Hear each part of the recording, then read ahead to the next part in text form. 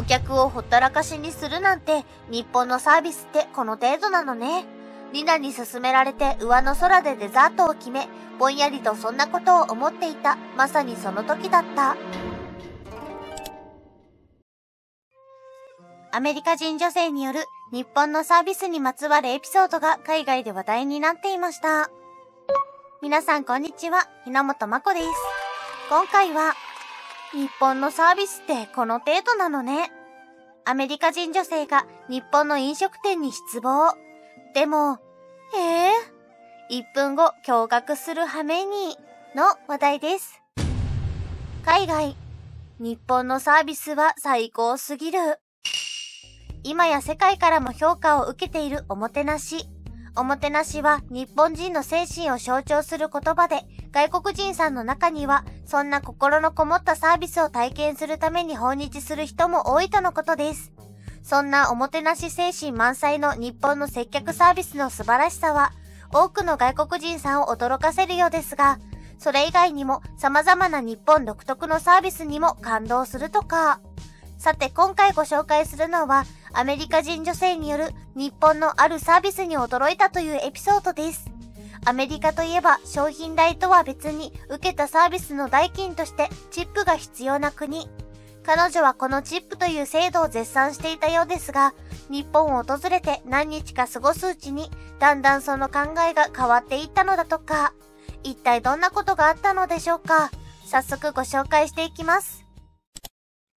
私の名前はナンシー、アメリカ人よ。サンフランシスコの半導体メーカーに勤務しているわ。突然なんだけど、アメリカってどんな国だと思う？多分大半の人が海外の国に対して漠然としたイメージを持っているわよね。けどその国にどのような文化があり、人々がどんな暮らしをしているのかというのは、外からはなかなかわからないものだと思う。私がそのことを思い知ったのは、韓国と日本という二つのアジアの国を訪れたことがきっかけだったわ。そうね、順を追って、まず私が文化の違いに目を向けるようになった韓国での出来事から話そうかしら。我が家は両親と兄、そして私の4人家族。私が中学生の頃までは夏休みのたびに家族揃って旅行へ出かけていたの。なんといってもアメリカは広い。だから国内旅行でも行き先はたくさんあったし、同じ国でありながら州や地域によって気候も景色も全く違うから飽きることはなかったわ。そして海外旅行にも出かけた。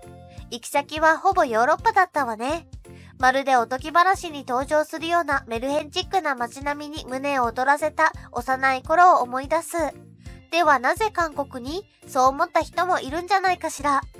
今はどうだか知らないけど、確かに当時、今からおよそ15年前は、アメリカ人が家族旅行で韓国を訪れるケースはあまり多くはなかったと思う。そんな中、私たち一家が韓国を訪れることになった理由は、2歳年上の兄が行きたがったからだったの。当時私たちが住んでいた家の近くには、テコンドーという武術の道場があって、兄はそこで近所の子供たちと共にテコンドーを学んでいた。それで兄が、テコンドーのルーツである韓国に行ってみたい。なんて言い出して、うちの両親も、アジアの国へは行ったことがないからいい機会だ。ってノリノリになっちゃって、その年の夏休み、家族で韓国を訪れることになったというわけ。初めてのアジアだったから私たちは最初ワクワクしていた。けれどそれもつかの間、すぐに後悔する羽目になったわ。まず食事がとことん合わない。そしてトイレは水洗なのにトイレットペーパーが流せないから備え付けのゴミ箱が山盛り。これはまあ文化の違いだから仕方のないことかもしれない。一番耐えられなかったのは韓国のスタッフたちの接客態度だったの。私たちがお店に入っても、こちらをちらりと一別するだけで、スタッフたちがおしゃべりをやめないし、携帯電話を握りしめて爆笑しているスタッフもいた。商品を買った母親が、あの、袋はないかしらと聞くと、なぜか怒ったようにレジの台に袋を叩きつけてきたこともあったわ。まあアメリカでもコンビニなんかに入るとたまにスタッフがスマホを持て遊んだりおしゃべりしたりして自由にしていることはあるの。けどこの対応はいくらなんでもおかしいでしょそれだけではなくタクシーに乗ればドライバーが何やら他の車に悪態をついている。飲食店に入れば、スタッフがおしゃべりをやめない割に、オーダーしたメニューを何も言わずにドンと置いて去っていく。私がオーダーした料理が待てど暮らせど来なかったこともあって、痺れを切らした父親がスタッフに声をかけると、ああ、それは品切れ。と何事もなかったように返事をされたわ。これが私の韓国での一番の思い出。なんだか想像していたのとは色々と違って家族全員がっかりだった。特に兄はアジアの国に憧れを持っていただけにかなりショックだったみたい。その後すぐにあんなに練習熱心だったテコンドーをやめてしまったわ。それでその時父が私たちにこう言ったの。韓国にはチップ制度がないんだから、スタッフの接客に問題があるのも仕方がない。アメリカみたいにチップをもらえるんだったら彼らの態度も変わるさ。この父の言葉にはとても説得力があったわ。チップはレストランやお店、ホテルなどで担当スタッフに払うサービス料。家族で訪れたヨーロッパの国々にも強制ではない場合も含めて多くの国にチップ制度があった。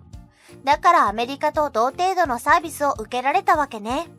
逆にこの制度がない国は必然的にサービスが悪くなるということ。当時小学生だった私はそう思うようになった。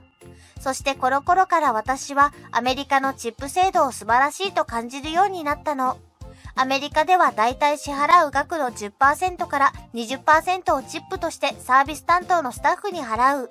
このチップに関してはいろいろな意見があるけど、私は提供してもらったサービスの対価として当然支払うべきだと思うわ。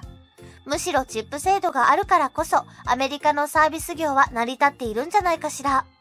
私自身も学生時代にカフェでのバイト経験があるんだけど、特に飲食店のスタッフは給料が安い場合が多いの。チップはそんな彼らのモチベーションをアップさせるとともに生活を支えるという重要な役割も持っているのよ。それにケースバイケースだけど、アメリカでもコンビニやファストフード店などでは多くの場合チップを支払わない。そのためスタッフのやる気のなさが前面に出てしまっていることがある。だからといって、どこかの国みたいに嫌な思いをすることは稀だけどね。これもある意味仕方ないことよ。チップを払えばそれなりのサービスは受けられるし、払わなければおのずとサービスの質が悪くなる。私はそれを当たり前だと思っていた。だけどその考えを根底から覆すような出来事があったの。今から2ヶ月前のこと。私のバースデーに合わせて国際電話がかかってきた。それは日本の友人、リナからの電話だったわ。リナは私が大学生の頃、留学生としてアメリカに来ていて、同じ大学に通っていた仲間。そして同じ音楽アーティストを好きだったことがきっかけで仲良くなって、リナが留学期間を終えて日本に帰国してからも、ずっとメールや電話での交流が続いていたの。久しぶりの電話だったから、お互いの近況や思い出話で盛り上がり、そのうち、もう何年も会ってないし、直接会いたいよね、という話になった。それで私は休暇を取り、初めて日本を訪れることになったの。リナも私の訪日に合わせて仕事の休みを取ってくれ、一人暮らしをしているという広島のアパートに泊めてくれることになったわ。私は家族との旅行は数多く経験してきたけど、海外への一人旅は初めて。だからちょっと不安だった。それにね、ネットでの日本のサービスの評判はすごくいいみたいだし、日本人が礼儀正しいってこともリナを見ていたからなんとなく知っていたの。けど一つだけ不可解なことがあった。それは日本にはチップ制度がないにもかかわらずサービスが絶賛されているということよ。一体なぜ？私の頭の中はハテナマークでいっぱいだった。だけどその答えが出ないまま日本行きの飛行機に乗り込んだわ。まずサンフランシスコから羽田空港へ。そこから国内線の飛行機に乗り換え、やっとリナの住む広島の空港に降り立った。ロビーにリナの姿を見つけた時には心底ほっとしたわ。久しぶりね、ナンシー。長旅で疲れたでしょう。ええ、少し。でもこうしてリナに会えて疲れも吹っ飛んだわ。私たちは久しぶりの再会を手を取り合って喜んだ。リナは空港まで自分の車で来ていて、リナの住むアパートまで案内してくれることになっていたわ。それは黄色いナンバープレートをつけたまるでおもちゃみたいな可愛い車だった。最初はあまりの小ささにびっくりしたけど、周りを見てみると同じような車がたくさん。どうやら日本では珍しいものじゃないのね。この小さな車は日本では軽自動車と呼ばれているとリナが教えてくれたわ。そして途中でコンビニによって軽食やビール、おつまみやお菓子などを買った。レジに進むとコンビニのスタッフがいらっしゃいませと言ってテキパキとレジを打ち会計を済ませるとありがとうございましたとお礼の言葉をかけてくれたわ。すごい。いつもだるそうなアメリカのコンビニスタッフとは全然違うのね。そしてリナのアパートに着くと私たちはまずビールで乾杯した。わあ、日本のビールって美味しい。それに日本のおつまみやお菓子はついつい手が伸びてしまうような味。中でもじゃがりこというお菓子がすごく美味しくて、思わず、これまた明日も食べたいって言ってしまったわ。私たちはおしゃべりに花を咲かせ、気づけば深夜になっていた。ああ、もうこんな時間、そろそろ寝ないとね。リラの言葉でトークはまた明日以降に持ち越しになった。そして翌朝、リナの運転で広島の観光地を見て回り、お腹が空いた私たちはレストランに入ることになったの。そこはかしこまった感じのところではなく、家族連れが気軽に利用できるような雰囲気のレストラン。店内に入ると、いらっしゃいませとスタッフが歓迎してくれ、人数を確認して席に案内してくれたわ。そして私たちがテーブルに着くと、すぐにお水が運ばれてきたの。アメリカでも最近レストランでお水が無料で提供されることが増えてきたけど、今でもこちらから言わない限り、お水が提供されないレストランも多い。しかも水が有料の場合もある。その時は普通にドリンクを頼むけどね。だけど日本ではレストランの水が昔からずっと無料なんですって。それにテーブルには使い捨てのお手拭きが用意されていた。アメリカにはこんな便利なものはないから最初は何なのかと思ったけど、リナが使っているのを真似て私も手をきれいに拭いた。このお手拭きやおしぼりと呼ばれるものも日本のレストランでは当たり前のものらしい。そしてリナに渡されたメニュー表をめくっていると、ちょっと気になるメニューを見つけたの。それは英語でハンバーグステーキと表記してある料理だった。うーん、聞いたことがないわね。ねえ、これってハンバーガーパティにソースをかけたものなのかしら？私はリナに聞いた。するとリナは、ああ、そうよね。確かにアメリカではハンバーグを見かけなかったわ。と独り言を言い、こう続けた。ハンバーグは簡単に言うと、ひき肉とパン粉、玉ねぎなどを混ぜ合わせて成形して焼いたものなの。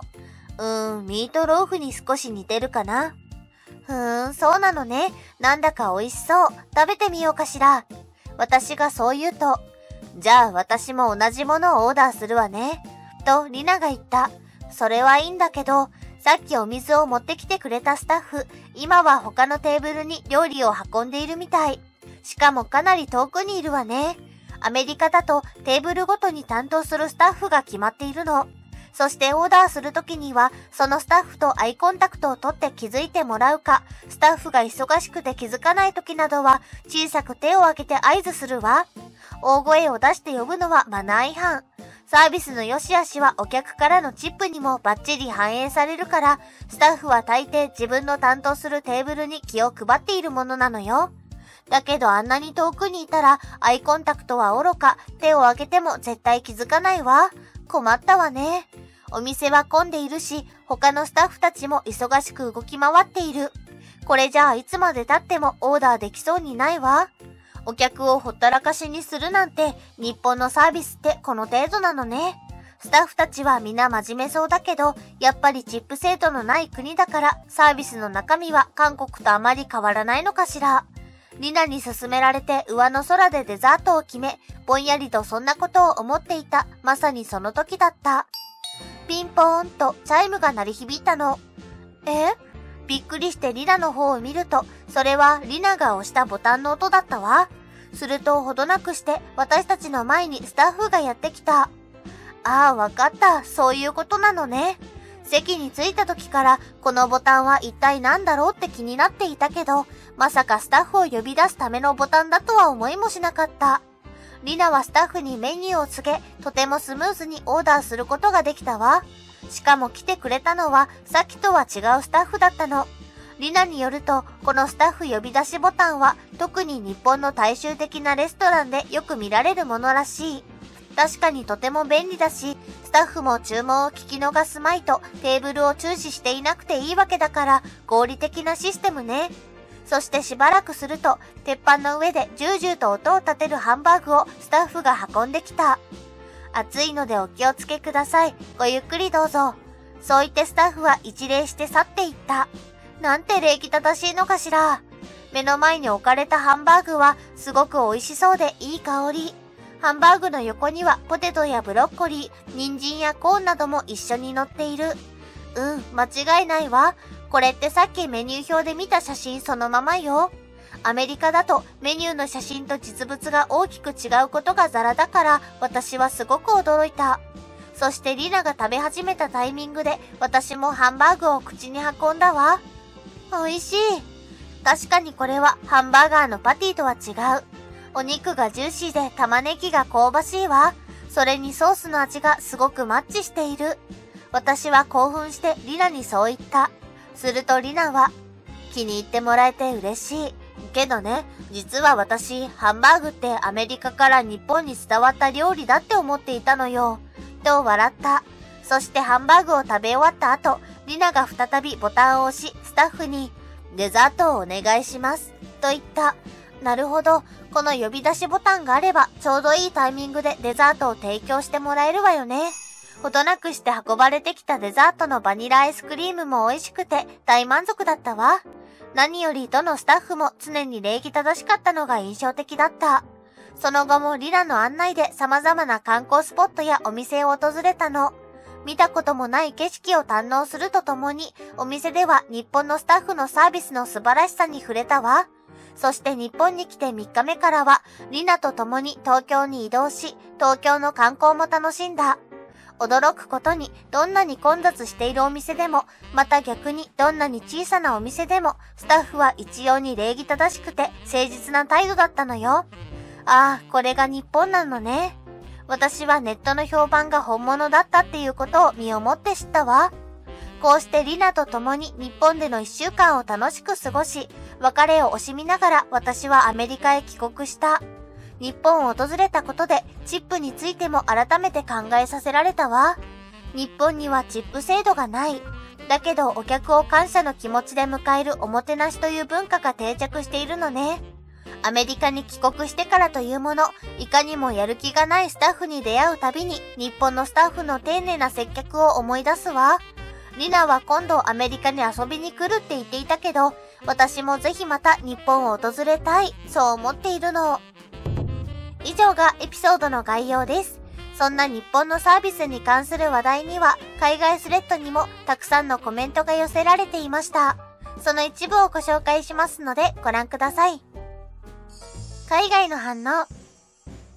アメリカにも親切なスタッフがいるけど、かなり当たり外れが激しいんだ。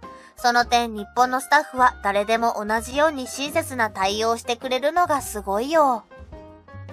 インドで呼び出しボタンを置いたら電池が切れちゃうよ。それくらい押したってウェイターは仕方するね。日本のサービスを体験すると自分が二流の国出身のような気分になるよ。日本は本当にリッチだし、お店を品良くすることにかなり気を使っているわ。日本のお店はずっと現代的だし、メニューも豊富よ。日本のあらゆるサービスは最高すぎる。以上が海外の反応です。日本にはアメリカのようなチップ制度はありませんが、昔からチップに似た性質の風習があります。それは、心づけと呼ばれる感謝の気持ちを表すために渡すお金。もちろん強制ではありませんが、旅館で宿泊する際や冠婚葬祭の際などにお世話になる人に心づけを渡すという文化は現在の日本にも残っています。それにしても、私たち日本人が当たり前のように感じるサービスは、海外の人から見るとかなり特殊なもののようですね。お客様は神様です。これは日本ではよく聞かれる言葉ですが、日本でのみ通用する言葉でもあります。海外にはないサービスの一つ一つが、日本という国を外国人さんにとって憧れの国にしている重要な要素になっているのかもしれませんね。さて、今回の話題はいかがだったでしょうか？ちょっとでも面白かったら高評価ボタンよろしくお願いいたします。メンバーシップもやっています。チェックしてみてくださいね。ありがとうございました。ではでは。最後までご視聴いただきありがとうございました。よろしければチャンネル登録お願いします。では、またお会いしましょう。日本っていいね。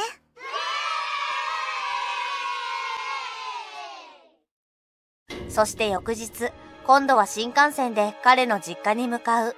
彼は東北地方出身だそうだ。その日から数日間彼の実家に泊めてもらうことになった。彼のお母さんが手料理を振る舞ってくれたんだが、東京で食べた料理に負けないくらいうまかったよ。そして翌日、彼に案内されたのは、フランス人男性によるあるフルーツにまつわるエピソードが海外で話題になっていました。皆さんこんにちは、日の本まこです。今回は、日本には勝てない。海外から持ち込まれたあのフルーツが世界絶滅。今や日本だけ海外が栽培を諦めた理由とはの話題です。海外。すごいな、日本。日本は四季がはっきりと分かれている国の一つであり、季節ごとに様々な旬の食べ物を味わうという風習があります。例えば旬のフルーツには冬であればイチゴやリンゴ、夏なら桃やスイカなどがあります。そんな日本では一年を通して何かしらのフルーツを収穫できるため、多くの農園や果樹園では季節に応じたフルーツ狩りを実施しています。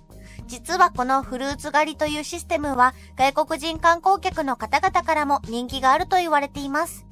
自分の国にはない美味しいフルーツが食べ放題、しかも自分で収穫しながら食べられるというところに魅力を感じるのだそうです。また、海外でもフルーツは日常的に手に入りますが、外国人さんの多くが日本のフルーツは値段の割にクオリティが高いと感じるようです。スーパーなどではフルーツの甘さやジューシーさ、そして形が揃っていることや腐ったものが並んでいないことなどに驚くそうです。さて今回ご紹介するのはフランス人男性によるそんな日本のあるフルーツにまつわるエピソードです。彼は日本旅行中に様々な旬の食べ物を味わったそうです。中でもフルーツの美味しさに感動したそうですが、あるフルーツを知って驚いたと語っていました。一体どんなフルーツに驚いたのでしょうか？早速ご紹介していきます。フランス人はバカンスのために仕事をしているようなものだ。有給休暇は年に5週間と決まっていて、夏に2、3週間のバカンスを取る人がほとんど。バカンスに海外旅行に行く人も多い。俺もその一人。一人で海外旅行に行って、その土地の名物料理を試すのが大好きなんだ。フランスにも美味しいものはたくさんあるが、世界は美味しいもので溢れている。例えばスペインの野菜とフルーツを使った料理や飲み物。ポルトガルは魚料理やフルーツを使ったスイーツが絶品だった。イタリアはやっぱりピザとパスタかな。ジェラートもうまい。夏のバカンスの計画を立て始めるフランス人が増えてくるのは5月頃。6月になると今年はどこに行く？なんてバカンスに関する会話が飛び交うようになる。7月後半から8月にかけてバカンスを取る人が多いから、6月から7月上旬はみんな大忙しだ。バカンス前に仕事を終わらせるためだよ。バカンスシーズンが終わり、みんながオフィスに戻ってくるのが9月。しっかり休んでリフレッシュした後は、また次のバカンスに向けて仕事を始めるんだ。これはフランスでは当たり前のことなんだが、日本ではそうではないらしい。半年くらい前から日本人と一緒に仕事をしていて、日本のことをいろいろ教えてもらったんだよ。日本では一週間の休みを取るのも難しいらしいね。驚いたな。子供の場合は夏や冬に長期休暇があるそうだが、社会人はそうもいかないらしい。仮に数日間のまとまった休暇が取れたとしても、普段できないことをやったり、スケジュールぎっしりの旅行に行ったりして、帰って疲れてしまうこともあるという。国民のほとんどが同じような行動をするから、交通機関や観光先は大混雑だそうだ。彼にフランス人のバカンスはしっかり休むための期間だと教えたら逆にびっくりされたよ。俺は今までヨーロッパを中心に海外旅行に行っていて、日本にはまだ行ったことがない。日本の文化や習慣、休みの過ごし方、気候や交通機関のこと、初めて聞く話ばかりでものすごく興味深かったな。ある日彼から休暇を取って一時帰国する予定だと聞かされた。ちょうどフランスのトゥッサンのバカンスの時期。トゥッサンは亡くなった家族のお墓参りに行くから、実家に帰って家族と過ごす人が多いんだ。彼はもしよかったら一緒に日本に行かないかと言うんだよ。その時期は日本の味覚の秋と呼ばれる食べ物が美味しいシーズンだそうだ。俺は独身だし恋人もいない。実家にはしょっちゅう顔を出しているし、トゥッサンのバカンスを日本旅行に当てても問題ないだろう。それに食べ物が美味しい時に行けるなら、この機会を逃したくない。彼は実家で過ごす予定だから、ぜひ一緒にと誘ってくれた。彼の話では、日本では季節ごとにそれぞれ美味しい食材があって、秋は特に豊富なのだそうだ。気温が下がり始めて夏の間に減退気味だった食欲が復活しやすい時期でもあり、食欲の秋とも言うらしい。彼のおすすめは魚料理とフルーツだという。フランスにもシーズンごとのフルーツがあるが、日本のフルーツはよく知らない。俺は日本に行く前から食事が楽しみで仕方なかったよ。日本でどう過ごすかはすべて彼に任せ、俺は初めての日本旅行に行くことに。フランスから日本までは13時間くらいかかったよ。その日は東京にあるホテルで一泊し、翌日に彼の実家に向かうことになった。彼の案内で東京の街を散策し、食事をすることに。日本に来てからは驚きの連続だった。電車が遅れることなく時間を守って運行している。フランスの電車は遅延が当たり前でストライキもしょっちゅうだ。彼に聞くと、日本で電車が遅れるとしたら、地震や台風などの自然災害か人身事故、あとは景気のトラブルによるもので、ストライキなんて経験したことがないという。公共トイレが無料で清潔。これはすごい国だと思った。フランスだと公共トイレは基本的に有料で、しかも汚いところが多い。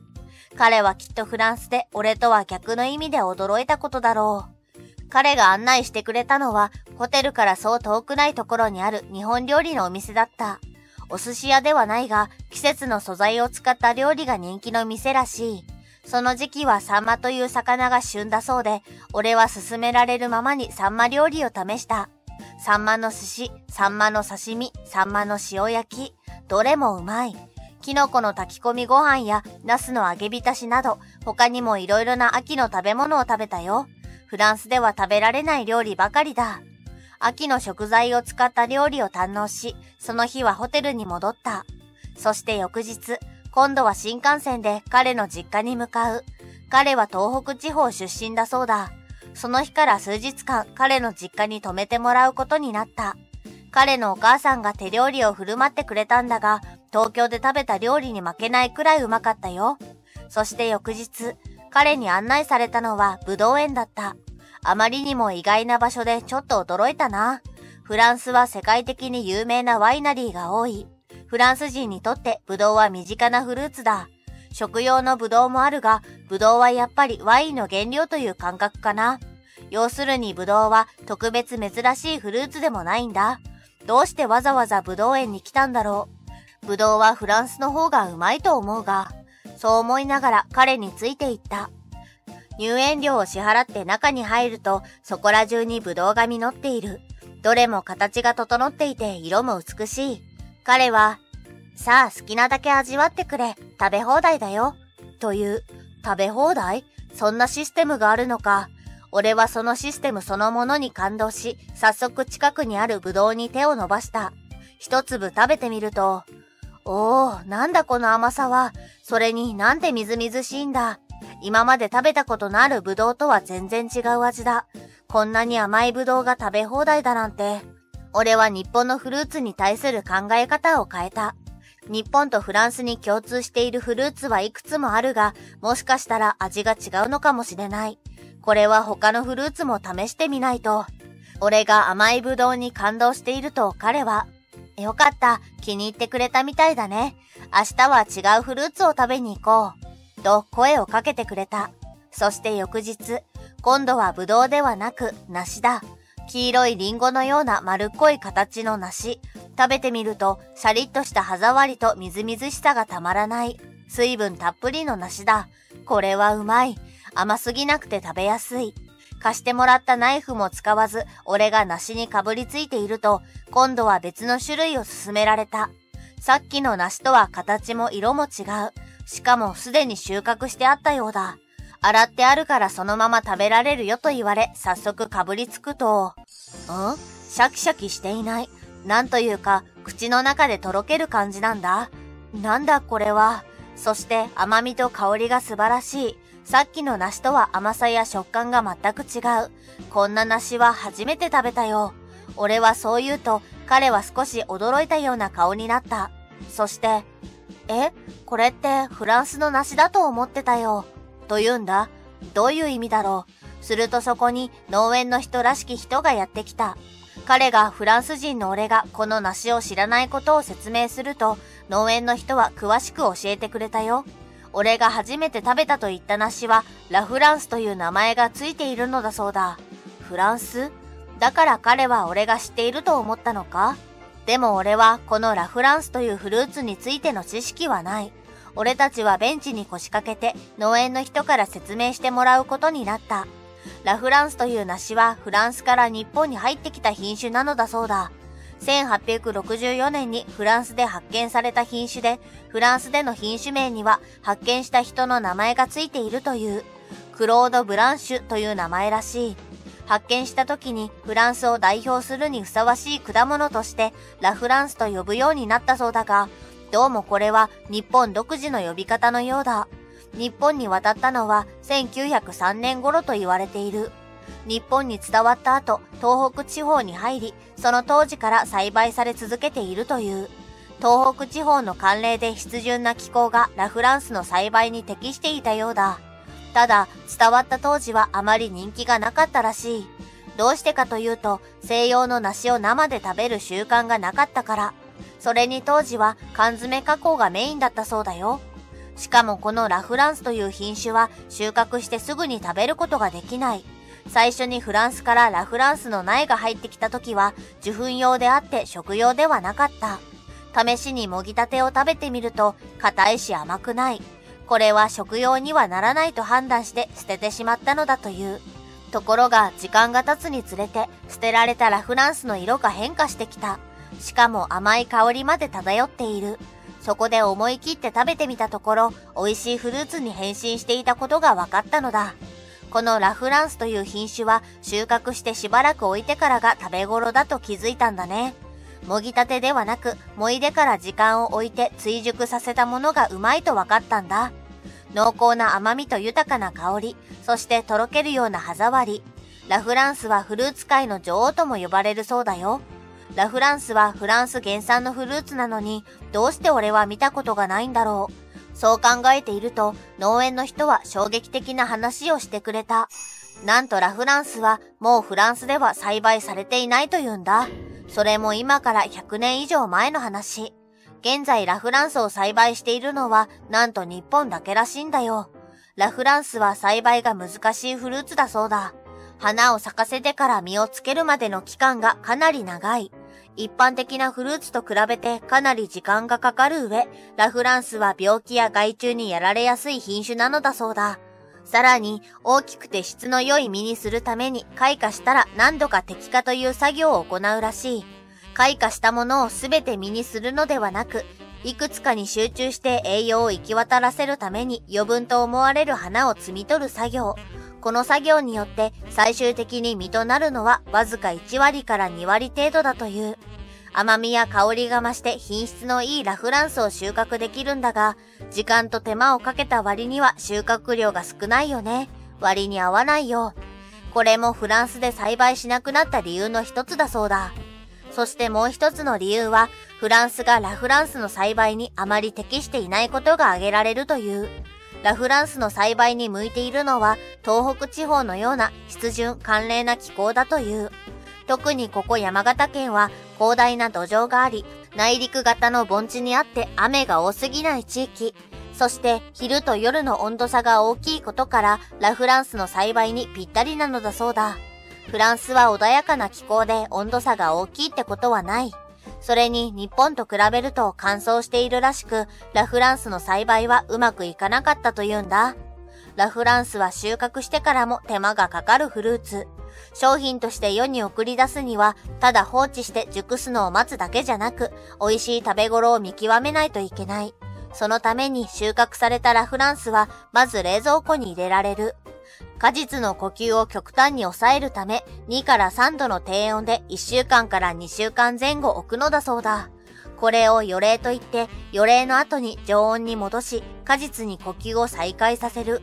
そうすることで追熟を行い食べ頃の完熟となるのだ。追熟の期間はだいたい10日くらいで適温は15度くらい。その頃になってようやく甘くて上品な口どけのラフランスになるんだよ。と言っても完熟したラフランスは柔らかすぎて輸送している間に形が崩れやすい。農園などのラフランスの産地では、予冷追熟を行い、完熟の1週間くらい前に消費地に届くようにスケジュールを管理しているのだという。そうすることで、消費地には1週間以内に食べ頃を迎えるラフランスが届くという仕組みだ。これはかなり手間がかかるな。栽培だけでなく、収穫してからも色々やることがあるフルーツだなんて思わなかったよ。そうか。だからさっき食べさせてもらったラフランスはちょうど食べ頃だったんだな。木になっている実をもいですぐには食べられないんだ。フランスではもう栽培されていないラフランス。日本の東北地方、特に山形が栽培に適していたから今でも作られている。それは分かった。日本のラフランス生産量のうち山形は8割を占めているそうだ。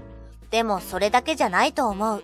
こんなに手間がかかるフルーツをちゃんと育てて、しかも食べ頃の時期を考えて消費地に発送するなんて細かいこと、フランス人には無理だろう。日本人の真面目で几帳面な性格がなければ、ラフランスという品種はとっくに絶滅していたんじゃないだろうか。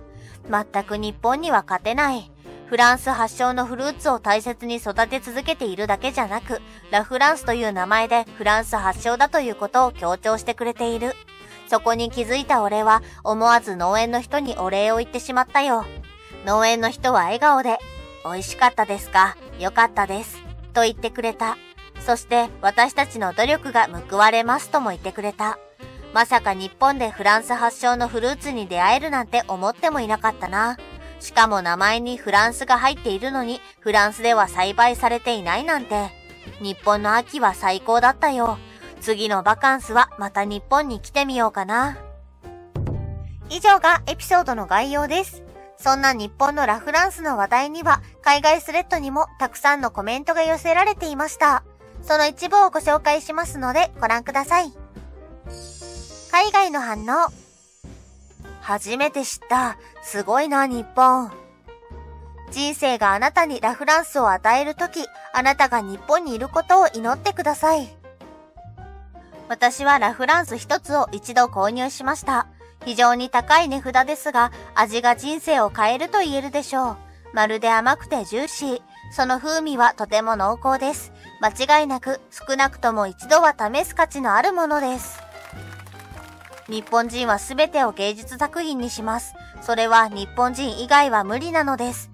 日本人は技術を見つけて完成させる素晴らしい方法を持っています。自分は日本でも大量に果物を買っているぞ。時には少し値段が高いと思うこともあるけどね。その中でもラフランスが最高だね。日本の果物が世界最高峰ではないと思っている奴は頭がどうかしている。果物まで日本なのか。